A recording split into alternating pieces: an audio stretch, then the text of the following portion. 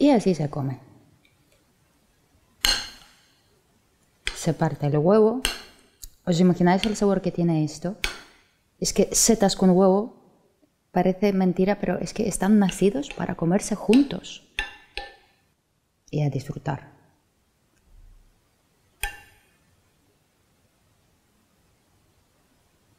Hola amigos, ¿qué tal? Hoy quiero compartir con vosotros una espectacular sopa de champiñones de hongos. Bueno, en este caso la he preparado con champiñones, pero se puede hacer con cualquier tipo de hongos y si son silvestres, mejor aún.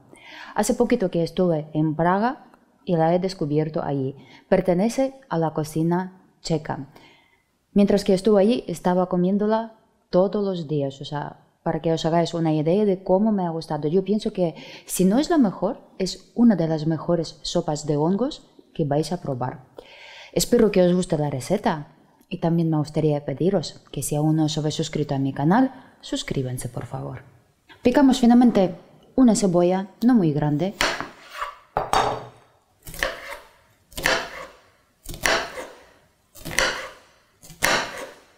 Y también picamos finamente uno o dos dientes de ajo. Añadimos aceite de oliva, una cazuelita y la cebolla. Fuego bajito. Y la pochamos. Unos 3-5 minutitos. Añadimos una pizquita de sal para ayudarle a sudar. Laminamos 350 gramos de champiñones.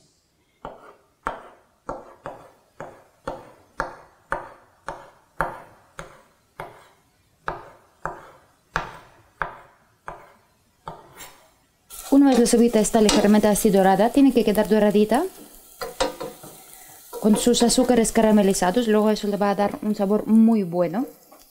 Añadimos champiñones.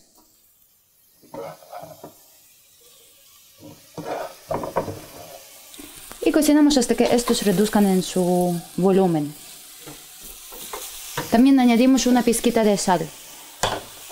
Añadimos pequeñas pizquitas de sal para no pasarse luego pero es bueno en este caso cocinarlo añadiendo ya sal desde el principio, poquito a poquito. Cocinamos los champiñones unos 5-10 minutitos, sin olvidar de mezclar a fuego bajito. Todo este jugo que han soltado los champiñones los evaporamos.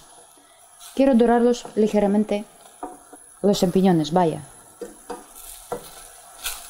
para que así se concentre mejor el sabor de, del hongo. Cortamos en láminas una patata grande, son 300 gramos de patata.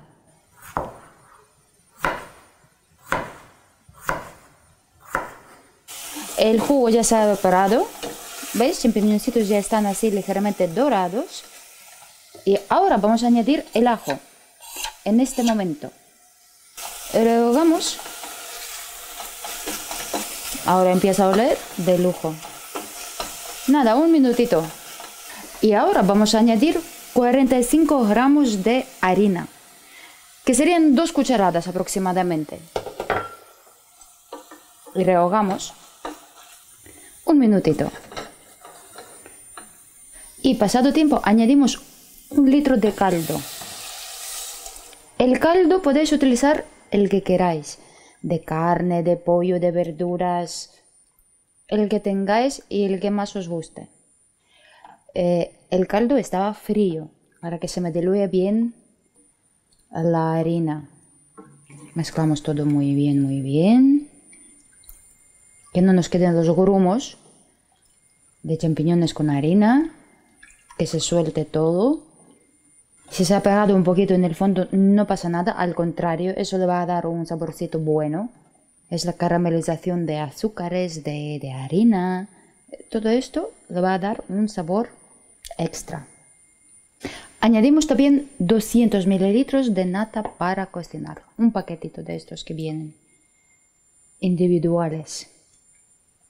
Que si podéis omitir la nata, sí, pero le aporta una cremosidad especial a este, a este plato.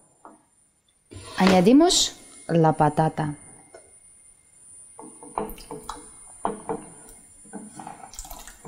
Y cocinamos a fuego suave hasta que todo esto se vaya espesando, porque esto se va a espesar. La salsa que estamos haciendo o el caldito este es como una especie de bechamel, de velouté, que es muy rico. Entonces, claro, va a quedar con una textura así mm, cremosita, espesa, muy rica. Bueno, no muy espesa, espesa en su punto. Una vez haya empezado a hervir, mezclamos. ¿Veis cómo ya está trabadito? Pues mejor todavía va a quedar. Hacemos el fuego bajito y cocinamos hasta que la patata quede hecha. Esta sopa, amigos, se sirve con huevo. En cada plato se pone un huevo. Ya puede ser huevo cocido o huevo poché, al punto que más os guste. Yo voy a hacer huevo poché. Como sabéis, huevos poché se hacen uno a uno y luego ya la cantidad que queráis. En un caso ponemos el agua y la calentamos y antes de que empiece a hervir, como ya veis que está caliente, veis que está soltando ya el vapor, pero que todavía no ha roto a hervir del todo, echamos el huevo, lo ponemos casi en el agua nosotros y con la espátula le vamos dando la forma. Cocinamos cuatro minutitos para que quede redondito. Es normal que suelte cositas así. 3-4 minutos cocemos. La sopa de vez en cuando mezclamos para que no se nos pegue.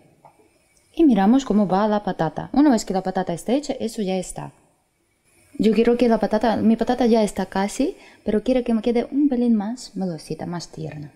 Y una vez veis que el huevo está como a vosotros os gusta, a mí me gusta que quede la yema eh, sin hacerse del todo, pues lo sacamos.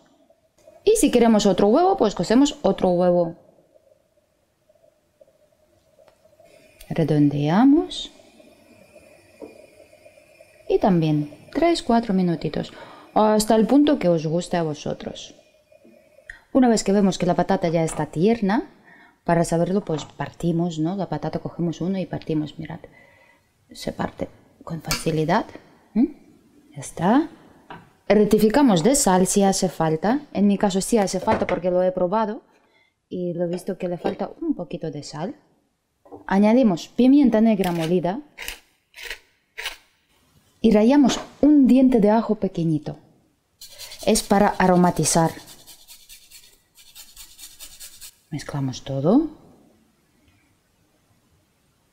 De amigos se adereza, sea, se le añade un poquito de eneldo. Yo tengo eneldo congelado y también voy a añadir un poquito de perejil. Eso ya va al gusto de cada uno, pero eneldo le aporta ese toque así único y particular y que la hace así muy especial. Antes de servir reposamos 5 o 10 minutitos y servimos.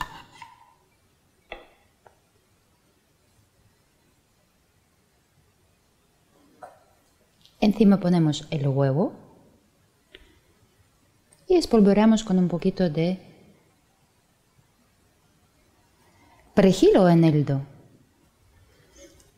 Y así se come. Se parte el huevo. ¿Os imagináis el sabor que tiene esto? Es que setas con huevo parece mentira, pero es que están nacidos para comerse juntos. Vuelvo a decir que si no os gusta el huevo eh, con la yema poco hecha, podéis cocer el huevo hacer huevo duro como a vosotros os gusta. Y a disfrutar.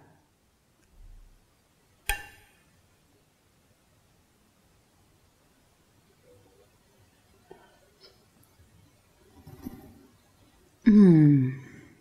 Menudo espectáculo, menuda explosión de sabores. Neldo aquí va que ni pintado. Mm. El huevo.